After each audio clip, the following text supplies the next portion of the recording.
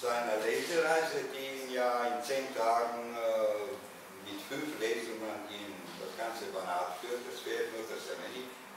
Äh, Orschova vielleicht an der Donau. Äh, ist, das Thema ist also äh, ein, ein lyrisches eigentlich, das Hauptthema, äh, die Präsentation seines neuen äh, Lyrikbuches.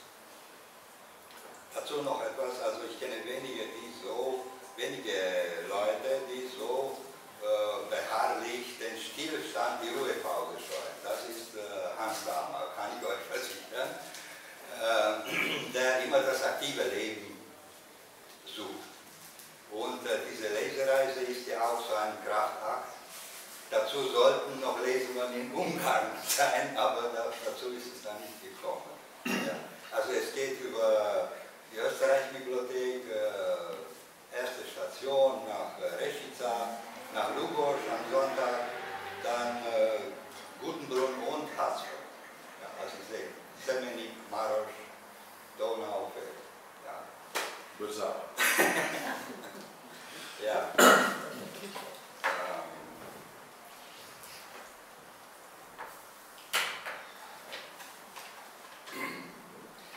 Zu seinem neuen Lyrikband äh, Dornenpflaster äh, drückt uns der Wiener Autor mit äh, Banatewurzel Hans Dahmer einen kleinen Schlüssel schon in seinem Geleitwort bereitwillig in die Hand. Das Leben sei ein Begehen des Pflasters auf den symbolischen Dornen des Alltags. Also daher äh, der äh, Titel Dornenpflaster mit dem schönen äh, Buch einfach.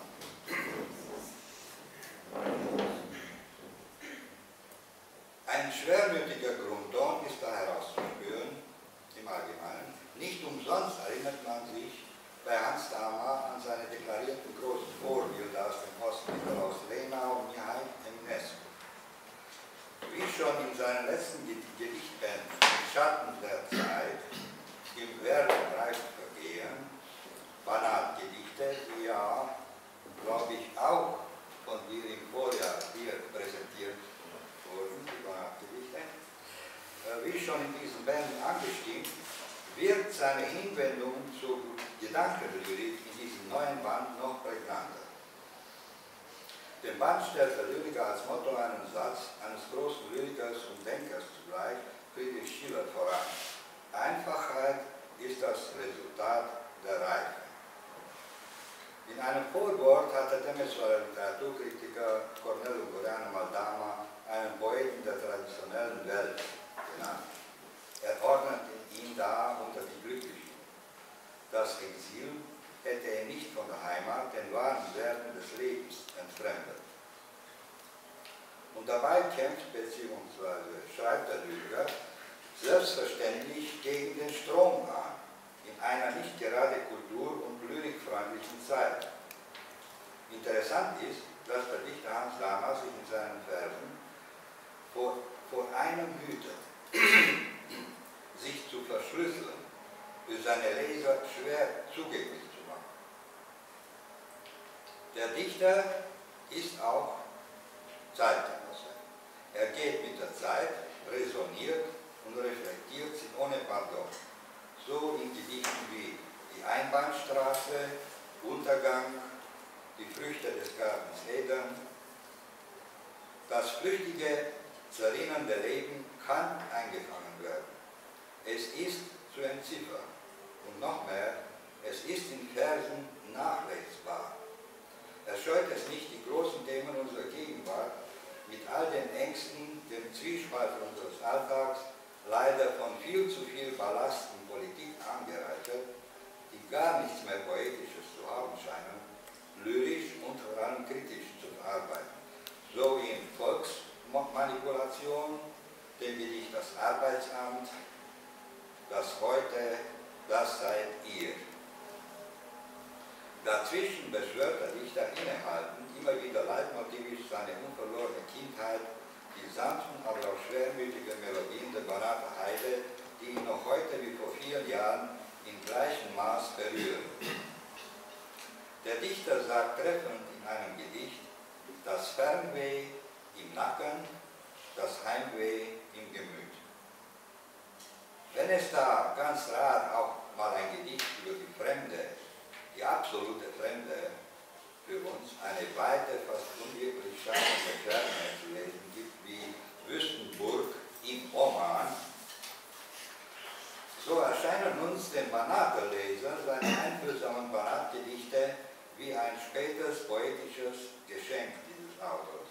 So macht Hammer, der dieses Thema bestens kennt, ein gelungenes Porträt des, Bana äh, des Banater Schwaben in diesem Band, das heißt Der Schwabe.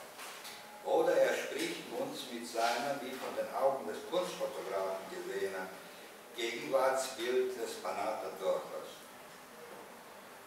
Schwabenhaus in Banat. Er spricht uns also mit diesem Gedicht so richtig aus dem Herzen, aber auch ins Gewissen. Nicht zuletzt seien da die zahlreichen Gedichte, die der Stimmungslöwe mit der Einbindung der Naturelemente zugeordnet werden können, hervorzuheben. Übrigens, es scheint, dass ein Ort aus seiner nächsten Nähe, der Wienerwald, so recht zu seinem dichterischen Gebiet passen würde. Zu erwähnen hier äh, unter anderem Morgenstimmung im Wienerwald, Sommernacht im Wienerwald oder Abendhimmel über den Wienerwald, Herbstwald und so weiter. Natur, wo sie auch immer ist, ist auch Heimat, Heimkehr. Das poetische Sagen kommt da nicht herum ein wohl für die Thematik seiner Lyrik bezeichnendes Gedicht ist da Heimwärts auf Herbstwegen. Äh, abgesehen davon, dass ich subjektiv sein könnte, diese lyrischen äh, Stimmungsbilder gehören zum schönsten, feinfühligsten, was dieser neue Band von Hans Dahmer zu bieten hat. Danke.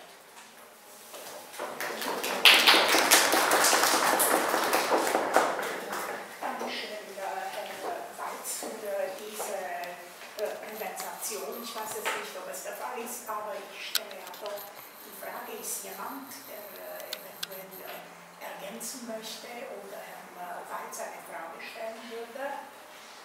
Ja, nachher, nachher. Vielleicht, ja, es wäre besser. Dann geben wir das Wort äh, Herrn Autor. Dankeschön. Ja. Danke, liebe Balthasar, für die wohlwollende Präsentation. Es wurde hier ein Gedicht angesprochen, Wüstenburgen im Oman. Ich äh, war mit einer internationalen Wüstenburg.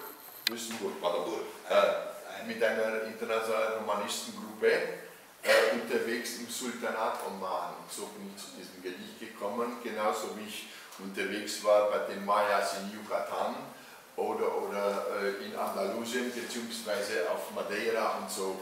Äh, und so ist also dieses, dieses mit dem sonderbaren Titel klingenden Wüstenburg im Oman zustande gekommen. So, ich habe mir Folgendes gedacht.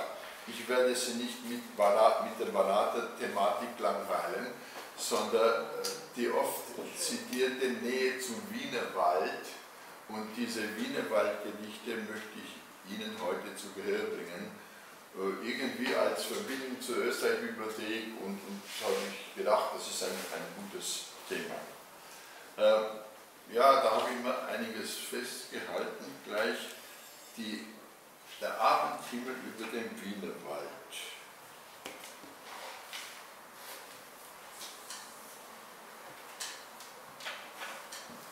Der Abendhimmel neigt sich nachtwärts, gefräßig schluckt das gierig Dunkel die rosa Streifen auf über dem Wienerwald. Das Grün des Wienerwaldes strotzt jedoch vor Selbstbewusstsein, überheblich. Beständigkeit ist ihm gewiss, seit Ewigkeiten triumphiert verwöhnt. Doch nun, es brennt scheinbar der Hügelrücken vom Rosafeuer lieblich mild. Als letzter Abendgruß mit Feuer, aus dem die Macht des Tages nochmals wild. Und jetzt die Morgenstimmung im Wienerwald. Der Tag beleckt schläfrige Gräser, der Waldboden liegt tief im Schlummer. Frühzeitig nur der Fährtenleser versucht Entledigung im Kummer, streift durch der Dämmerung fahle Lücken, bemooster Teppich, ihn geleitet über die Nacht zur Morgenbrücke, den Blick ihm über Grünes weitet. Vereinzelt darf er Tönen lauschen, die zaghaft aus dem Dickicht steigen, verweist der Quelle einsam rauschen, das unermüdlich bricht das Schweigen.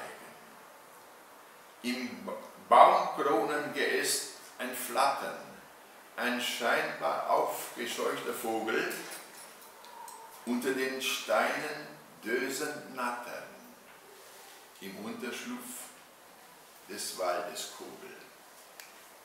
Die Schwammerl ihre Köpfe recken, die Morgenpflücker sich hingeben, der mit den Fingern seinen Kecken Zuland auslöscht des Pilzes Leben. Ist alles doch Werden, Vergehen, das um uns greift und uns begleitet, wenn mitten wie im Leben stehen, ist unser Abgang vorbereitet.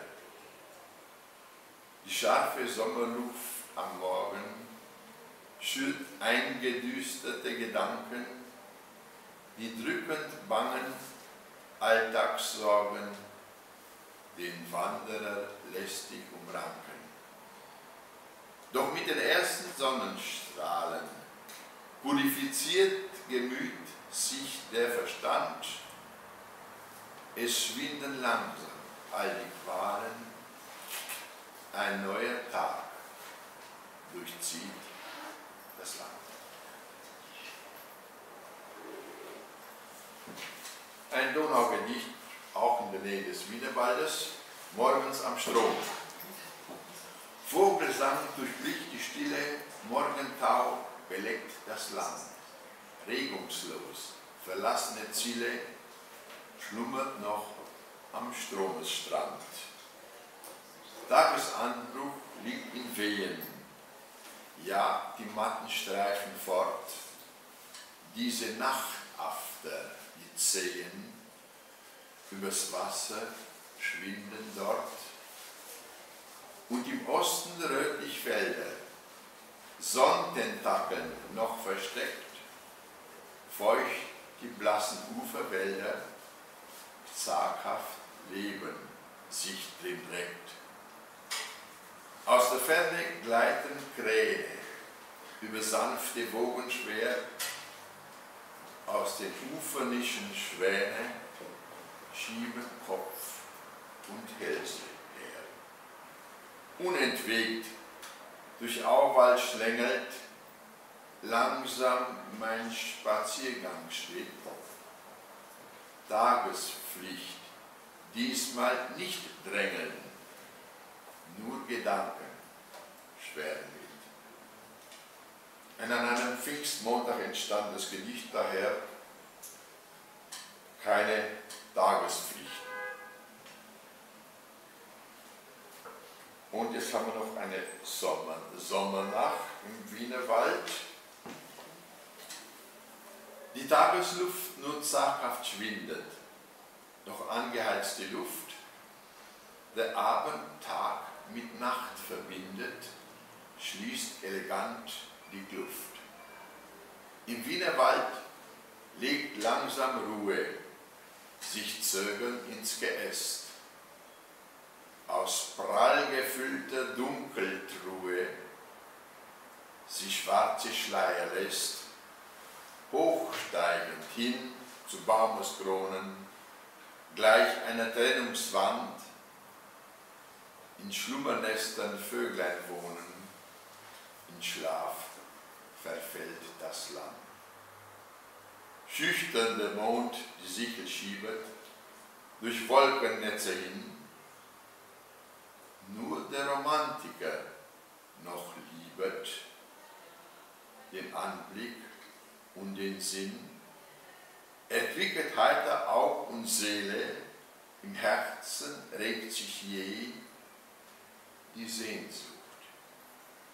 Ich mich heimwärts quäle, gedrängt in Abschiedsweg. Haben wir noch Zeit? Geht noch? Ja. Ich habe noch einige wenige, die ich Ihnen vielleicht zu Gehör bringen will, damit wir das Thema abschließen. 76 in einem anderen Band erschienen. Und zwar Abendidyll. Die Abendluft im Dämmerschein, in blassen Lichtern in der Ferne, die Stadt will nicht mehr lärmend sein im Glanz leuchtender Sterne. Der Windhauch legte sich zur Ruhe, nur ein entlegenes dumpfes Rollen. Durch Fenster dringt die Kunde zu, fernes Gewittergrollen. Haben wir dann noch was? Aber 380 haben wir dann noch was? Ja. Am Himmelsbogenkranz.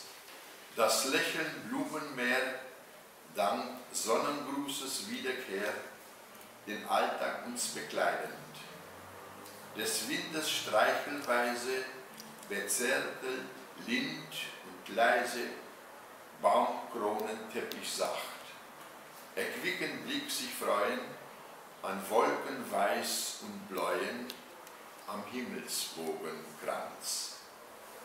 Im Seel Seelentief empfinden wir Ruhe, Einkehr finden für alltagslosen Glanz. Und jetzt schauen wir noch ein letztes, ein letztes Gedicht. Das nennt sich diesmal Sommernachmittag im Wienerwald.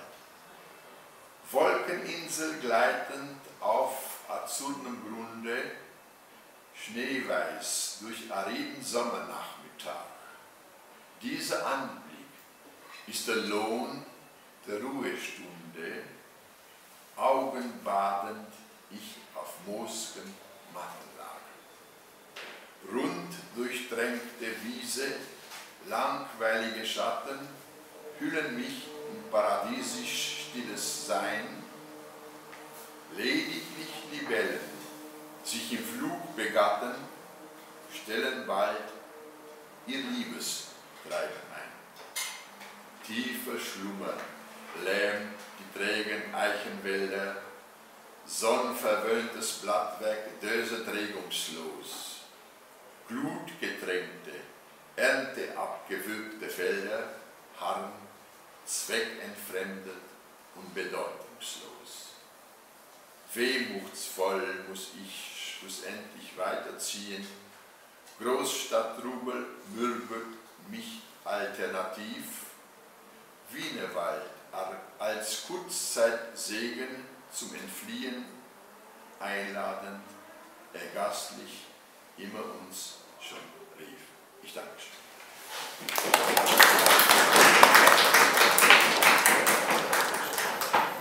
Dankeschön, Hans Daumer, für diese Einführung in die Atmosphäre des Wiener Waldes und für den Bezug zur Österreich-Bibliothek.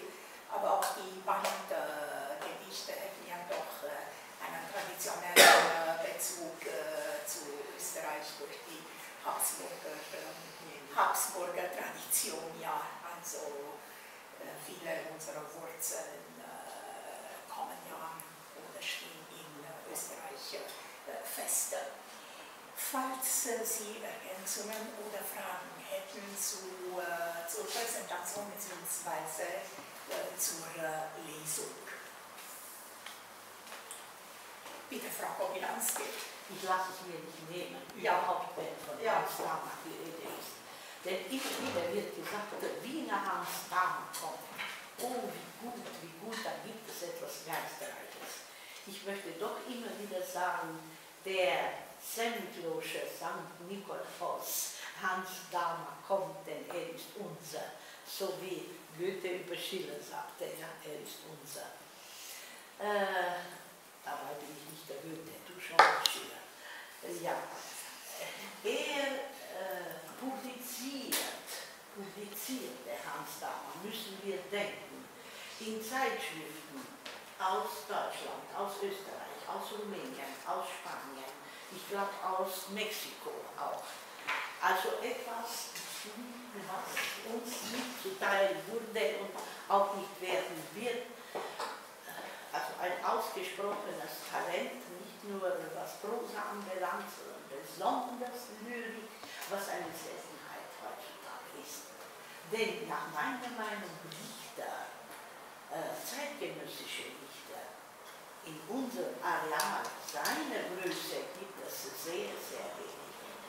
Da muss man wirklich wahr nicht nur einen Wortschatz sondergleichen besitzen, sondern auch seine Gefühlswelt leben, ausleben. Das tut Hans Dammer. Er hat übersetzt aus Lucian Plaga, aus Nikita Stanescu, aus Bakovia, geschweige unsere hier Doktrin äh, Angel Lumbrediano und so. Also da muss man ja handhaben mit der deutschen und rumänischen Sprache. Adriana Reimer, nicht vergessen. Ja, ja, ja, ja, ja, Entschuldigung, ja natürlich, was, was. Was mich immer anspricht, wenn ich seine Gedichte lese, als halbe Wienerin, Wienerin, Wiener Neustädterin, nicht, da meine Mutter in Wiener Neustadt geboren wurde, ähm, natürlich Wienerwald und, und, und, aber seine Manata-Gedichte sind ein Seufzer, ein Aufatmen an seine ewige Heimat, denkend sondergleichen. Als ich heute daherkam, sagte ich ihm, Hans, so oft ich verzweifelt bin und meine Depressionen lebe, schlage ich ein Gedichtband von dir auf und lese eines deiner. Gestern sprach ich mit der geehrten Frau Professor am Telefon und sagte, eben ist mir ein Brief zugeschickt worden von Autoritatea Nationale a Restituirilor, wo die mich wieder zu einem Prozess jagen und dann bin ich überhaupt sehr, sehr erbaut.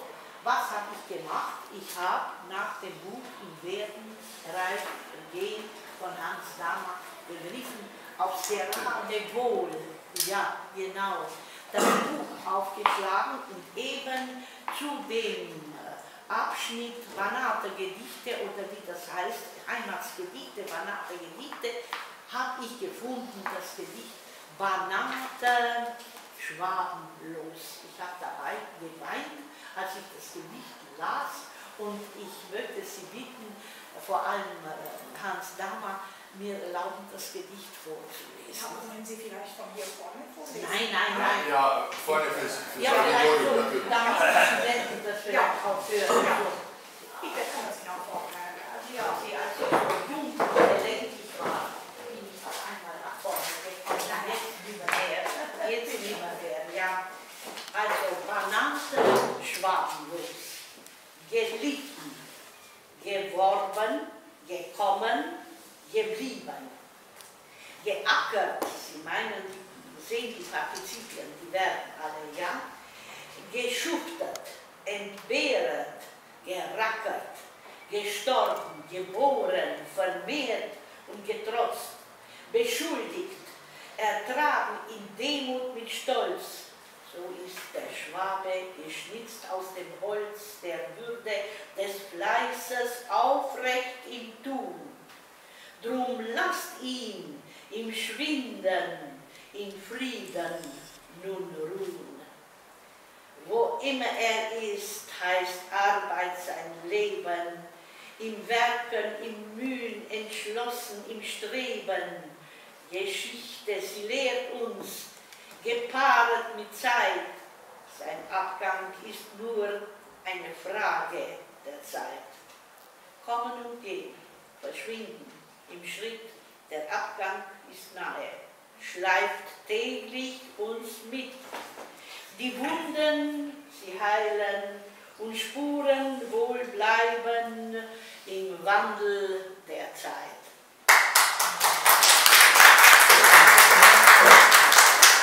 Nur wer da geboren wurde und da aufgewachsen ist und die Arbeit am Feld manches Mal, wenn wir auch Städter waren, denn sie haben ja vor allem den Boden gesegnet, die Banater Schwaben, kann das Gewicht total miterleben und verstehen. Ich habe immer wieder gesagt, mich könnte nur eins niederkriegen, wenn ein dritter Weltkrieg wieder ausbrechen würde und ich meine Schüler zusammen mit meinem Sohn auf dem Bahnhof sehen würde, abfahren und nicht wissen, ob ich sie nochmals wiedersehe. Ein dritter Weltkrieg musste nicht ausbrechen. Ich habe alle meine Schüler gesehen, abziehend aus dem Banat. Zuerst sind sie zu mir gekommen, sich zu verabschieden und dann bis zuletzt nach der Wende auch meinen Sohn. Das einzige Gute war, nach der Wende wusste ich, ich habe die Chance, sie wiederzusehen. Aber jedes Wiedersehen ist ein Altern für mich, so oft ich mit ihnen zusammenkomme. Zum Glück hat es mich nicht niedergepresst total. Es sind Augenblicke, wo wir zusammenkommen, so wie das jetzt sein wird in den künftigen Tagen. Herr Balthasar Weiz wieder. Und dann freue ich mich wieder, wir sind doch noch eine Handvoll Menschen, die, eine Handvoll, die noch die Muttersprache sprechen, die Muttersprache, und die irgendwie fronen dem Ganzen, was einmal war. Ob das mal wieder kommt, weiß ich nicht. Weiß ich nicht. Ich schaue da, wie geheiratet wurde, wer wen geheiratet hat. Die Kinder meiner gewesenen Kollegen, die Germanistik studiert haben, sprechen kein deutsches Wort mehr. Ist das nicht traurig? Ist. Ich danke. Ja. Frau Komilanski für, äh, diese, das Lesen, für das Vorlesen des äh, Gedichts und für diese sehr beeindruckende äh, Ergänzung sentimentaler Natur. Natürlich äh, möchte ich die Tatsache äh, erwähnen, dass ja Hans äh, damals sozusagen die traditionelle Banate-Lyrik äh, fortsetzt.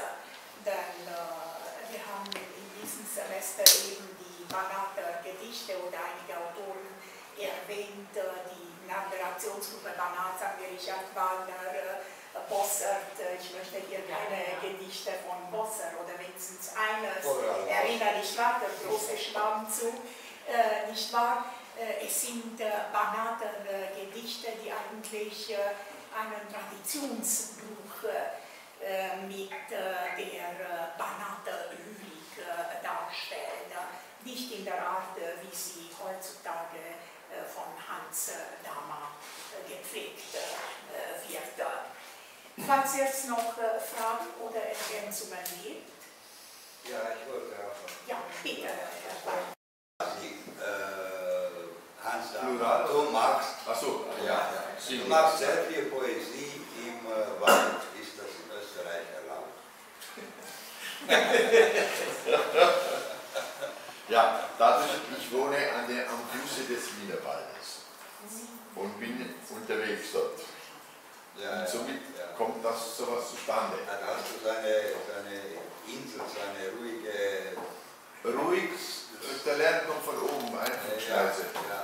Also, Also, aber ja, hat David was gelernt, du musst öfter in den Wald. Auf Frau Komilanski, Sie müssen öfter in den das Wald. ist das, das, das, das Blätterdach, das etwas abdämmt von dem Fluglärm. Ja. Sehr gefährlich Bei uns heutzutage in nicht den Park zu gehen. Da. ohne einen Hund zu führen oder ein Fahrrad zu schieben. Aber mal ein Gesicht zu machen.